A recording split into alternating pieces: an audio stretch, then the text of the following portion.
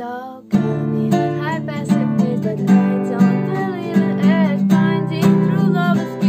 Зенске прошел первый городской фестиваль-конкурс гитарной музыки «Я, ты, мы и гитара». Организатором этого конкурса выступила детская музыкальная школа. Собираются на конкурс гитаристы уже десятый год, но в этом году было принято решение провести его на открытой площадке, чтобы мастерство увидели как можно больше зрителей. Но ввиду трагических событий в Казани пришлось уйти на онлайн-площадку. У нас две номинации в конкурсе. Это инструментальное творчество, исполнительство и вокально-инструментальное исполнительство. Так вот, вокально-инструментальное подразумевает, у нас получается вокал и аккомпанемент под гитару. Вот здесь практически все исполнители, любители, то есть самодеятельные музыканты.